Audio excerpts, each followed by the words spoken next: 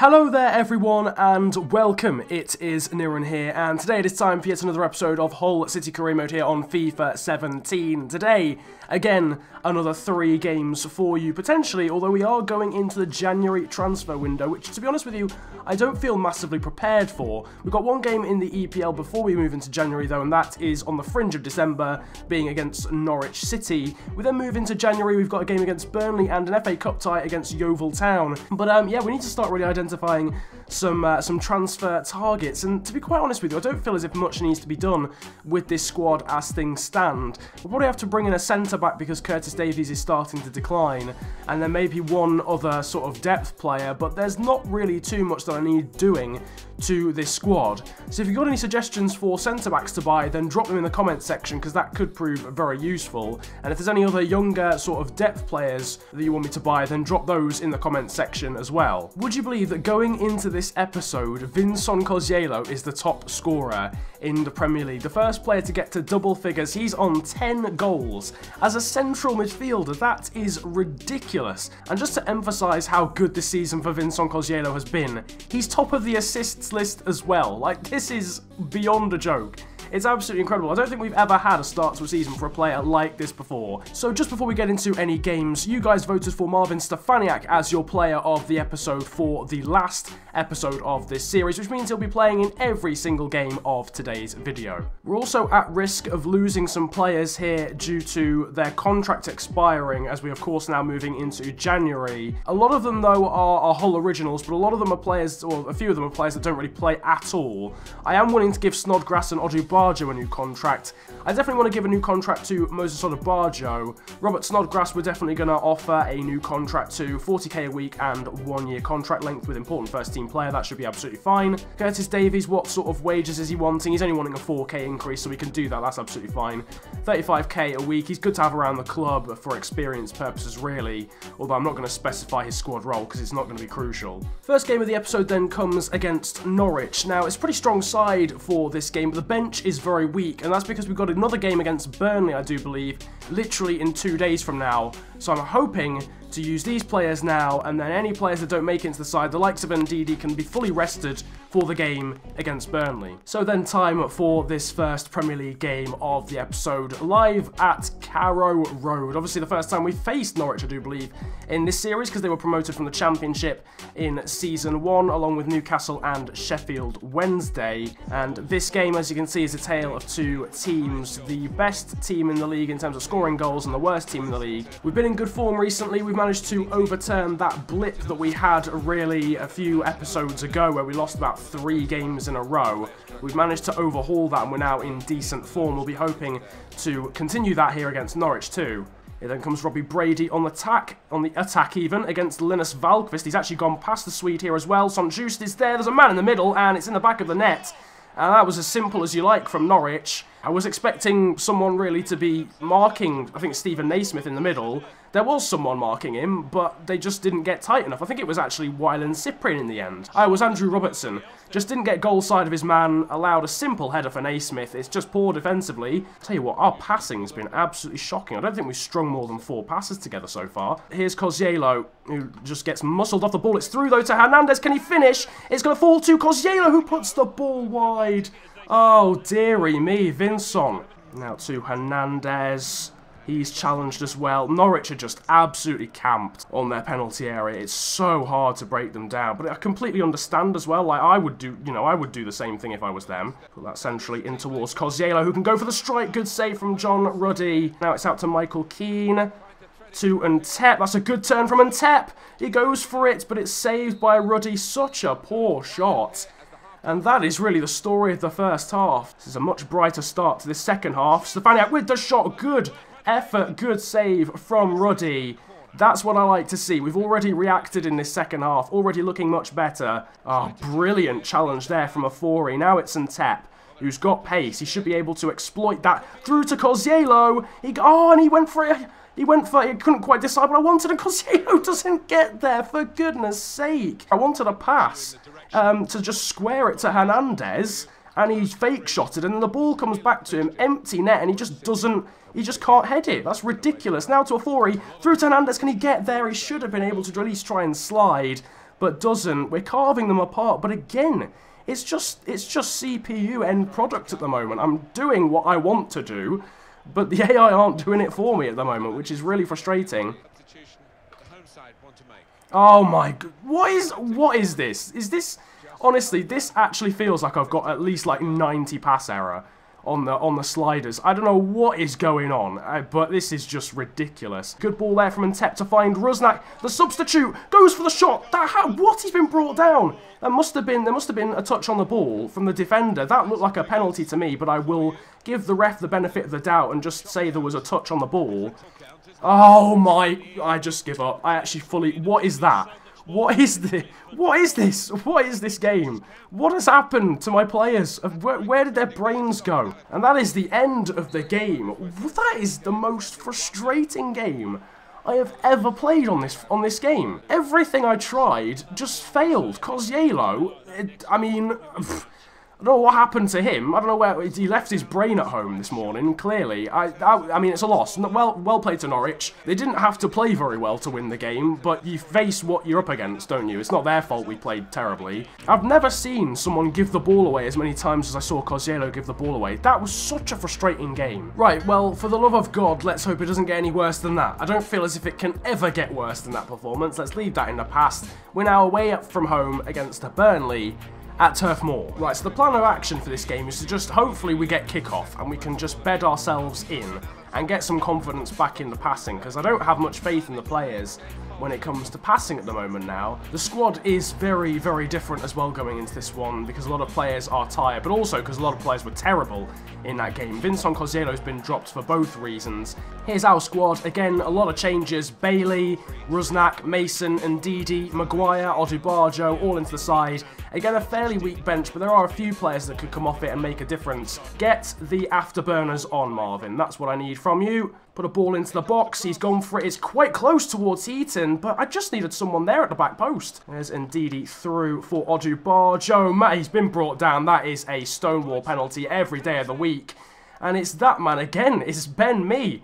He was sent off after five minutes last time we played Burnley as captain. But Odubajo wins the penalty and it'll be taken by Abel Hernandez. Don't appear to have the arrow this time, which is quite interesting. And it is taken, but it goes in anyway. We take the lead. Abel Hernandez scores for Hull City to give us the lead after 21 minutes. Tom Heaton will be left frustrated because, to be quite honest with you, Burnley looked pretty decent in that first 20 minutes, but they've given away a penalty and they've given away a silly goal. We're in control of this game at the moment, just dictating the play. Is Rusnak. What a reverse ball that is! Through to Hernandez. Can he do anything with it? He's forced back. It's to Ndidi. Now to Rusnak, who cuts past his man. Great bit of play. What a goal! Albert Rusnak. That is phenomenal. That is absolutely incredible from Albert Rusnak. And it was a great bit of play to get us into that position in the first place with the reverse pass. And then the fake shot past the Burnley player, doing him completely. Albert Rusnak has just done a madness. He's done an absolute madness. And the man that we expected to sit in the shadows of Vincent Koziello has fully emerged from those shadows in this episode. It's all attributes that you'd want in a midfielder, because it's the amazing pass to set that move in motion, and then its skill, and then its composure to finish. Here comes Rusnak. There's a run being made actually down the side. Oh, it's clipped off the heels. What? That's incredible. It's somehow gone through to Stefaniak with the help, inadvertently, of Mason. We lose the ball, but that was almost incredible. It's interesting, actually. This episode so far has really questioned the traditional starting 11 that I tend to play in this series. It's provided us with games where we've seen Rusnak play well and Koziello play badly, and it's provided us with a game as well where we've seen Michael Keane play badly, and Harry Maguire play well. Leon Bailey is going to swing this one in, try and find a decent area. It's a bit behind everyone, but it's sort of bobbling around, and Burnley do just about get it clear. Not really the area I was hoping that would that would be, really. Unfortunately, maybe Rusnak needed to take that. Oh, that's fallen well to Hernandez. And the less said about that, the better. Good interception there from a Burnley player. They seem to be charging players forward quite a bit now, which will leave them susceptible to counter-attacks. That's Mason to Che Adams. Now out wide to Bailey, who've just been talking about. Can he put a good ball into the box? He can. It's to Che Adams, who takes the touch, and it just goes wide after bouncing off the post. And then Tom Heaton. Comes Rusnak now to Ndidi. Back to Rusnak again. Goes for the strike. Oh my... No, I'm done. No, no, no, no, no, no, no, no, no, no. What a goal from Albert Rusnak. What has just happened? Albert Rusnak has just exploded onto the scene. That is actually insane. That is actually an incredible goal from Albert Rusnak. He's just stuck it top bins with like no backlift at all. At full time though, it is 3-0, a dominant victory in the end, sparked by some absolute magic from Albert Rusnak. That was just phenomenal. That was absolutely phenomenal. Man of the match in the end went to Onyinye and Ndidi. Of course it did, but he did get the same rating as Albert Rusnak. Rusnak gets my man of the match, although Ndidi was phenomenal as well. 8.1 for Bailey, 8.4 as well for Odubajo, who was very, very solid in the first half, and of course won the penalty for our first goal. New month, and that means new players are getting trained, and after that astonishing performance, Albert Rusnak is definitely in the frame for a training slot. Dave Fraser, Jerry St. Juste, Wilfred Ndidi, and Ebenezer Ofori are also going to be trained here today. Obviously there's some overlap between players that have already been trained because we've only got so many young players in the squad that actually feature quite a lot. The likes of Fraser, Ofori have obviously been trained before, St. Juste is the same. Talking of Dave Fraser as well, he's gone up to a 65 overall, which is not a bad overall at all and I think I'm going to be starting him in that cup tie in the FA Cup against Yeovil Town. Now then, we're obviously into January, so it's all uh, I uh, just the proverbial shit has just completely hit the fan. I've got about 64 messages. Rick Van Drongelen isn't happy with his role at the club. That's fine. He's going to play against Yeovil Town. Uh, Harry Maguire wants to go out on loan. Okay, that's fine. We've got an offer for David Marshall, which is sort of fine because we're not really using him, so I might get rid of him and try and bring in a cheaper backup goalkeeper. Uh, Odubajo's accepted a contract, Snodgrass has accepted a contract. Right, transfer offer in then for David Marshall. I'm not going to sell him for cut price. We're going to ask for four, £4 million. Pounds. Ah, okay, so the whole board, I didn't actually read this properly, the Hull City board are actually telling us we have to loan out Harry Maguire which is such a pain in the arse. I don't even know. He's play, He's actually played a decent amount of games but he still wants to go out on loan, which is frustrating because he's actually quite a good centre back. Okay, so I just want to stress the fact that we're not going to be looking at buying players in this episode. I would still like you guys to suggest some players, so in the comments section, if you guys could suggest to me some backup goalkeepers, um, some centre backs, and also some just young backup players of any position really. It doesn't particularly matter. I'd like to bring in some young talent still, as I always tend to do, so that's absolutely fine. Drop those suggestions in the comments section. We are going to think about selling a few players. Sam Clucas is for sale. David Marshall, we've already got an offer for him from Newcastle. Harry Maguire is up for loan, but it's a short loan, so we can try and get him back as soon as possible. Uh, Newcastle have come back to us and said they do not believe that David Marshall is worth that much and are not going to make a counter offer,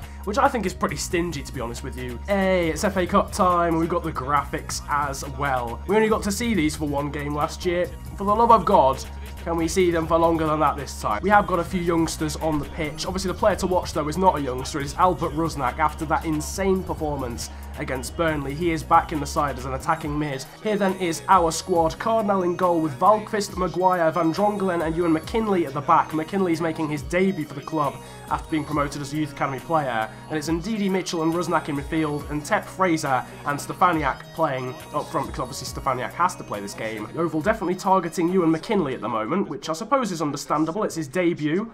Oh, this is Dave Fraser through. It's going to fall to Ndidi. He goes for the shot. Great save from the goalkeeper. Punched away again by Krysiak and out for a corner. That was a thunderous effort from Ndidi. Here's Ndidi. Good turn from him. This is through to Dave Fraser, who puts it in the back of the net. And that is 1-0. The Scottish youngster from, from Scotland, obviously. That would make a lot of sense. Gives us the lead. It's his second goal, I do believe, for the club. Assisted by Wilfred Ndidi. Just a little cheeky through ball through. And sliding in, the Scotsman finds the back of the net. Only 17 years of age. Isn't it mad to think that in terms of this series, a 21-year-old in the shape of Linus Wahlqvist is our most experienced defender. I know Harry Maguire, I think probably in, in real life, is more experienced. But in terms of this series, Wahlqvist has played so many more games than him, and they've hit the crossbar of Yeovil. Goodness gracious me, whilst I was waffling about that, Yeovil hit the crossbar, but they've left themselves open for the counter-attack. Marvin Stefaniak's bursting through. Can he cut inside? Yes, he can. He's got a run being made. It's Rusnak. Can he finish? Oh, the counter-attack not quite finished off. It's now to Dave Fraser, who finds the back of the net and makes it 2-0. The classic counter-attack from Hull City. Yeovil Town hit the crossbar. Rusnak with a chance. It falls to Fraser, and he's got a brace, boys. He's got a brace. This is incredible scenes. Rusnak puts it straight to the goalkeeper, but Fraser is there to mop it up and put it into the near post. It is nice to see a team in a lower league actually attacking, though. Um, Charlton Athletic did it as well, to be fair, but a lot of the time when you play uh, like a lower league team or a team that's worse than you on FIFA, they just sit back and defend. Here's Rusnak, though, and flipping Dave Fraser's got no intentions of calming down, trying to get the hat-trick. And it is a good first half, and a monumental first half for that man there. Youth Academy graduate Dave Fraser, 65 overall, two shots, two goals. Right, here comes Dave Fraser. Good little ball through. That's oh, that's Dave Fraser. Sorry, that was Mitchell. Then Dave Fraser on for the hat trick. It's blocked. It's Fraser again. It almost crosses the line. He's an inch away from getting a, a, a hat trick in the FA Cup. Oh, what a start to Hull City life that would have been. It is a 2-0 victory against Yeovil Town away from home. In an episode that's seen us play every single game away from home, we've grabbed two wins out of three, which is not too bad at all. And finally, we progress to the fourth round of the FA Cup. Man of the match, unsurprisingly, does in fact go to the youngster Dave Fraser with a 9.4. Indeed, he has to be a nailed-on contender for player of the episode. Another ridiculous rating. So here is the table then after today's episode. We are top of the table, but only on goal difference out of Manchester City. Both of us on 38, with Leicester in third and United in fourth. Norwich, Burnley and Sheffield Wednesday occupy the relegation places. You are now, though, seeing the Hull of Fame as well in the background. We've reached a point really in the series where not too much of it is changing. There will be some changes. If Cardinal hasn't taken top clean sheets maker, then he will have done, or he will do soon, sorry. In the top right of the screen, though, you guys can now vote for your player of the episode for today. There's some real contenders, actually. Basically, anyone who didn't play in that first game and played in both the second games will definitely be on that list. Maybe even Dave Fraser. He scored two goals in the FA Cup. Why not? Chuck him in there. Odubajo, I'm sure the likes of uh, Odubajo, yeah, and uh, and Didi as well will probably find himself on that list. And of course, Albert Rusnak after his two goals against Burnley. Nevertheless, that is basically the end of the action for today's episode. If you have enjoyed, then of course make sure to smash the likes button, subscribe if you're new to the channel, and comment about enjoying the video if you enjoyed it that much, as well as telling me who I should sign in this transfer window, especially when it comes to centre-backs, I feel is probably the one position maybe we need to get a player, but really the team's playing very well. We don't need to buy that many players in this transfer window. It has been a pleasure though ranting you guys today. Have a great day, enjoy yourselves, and goodbye.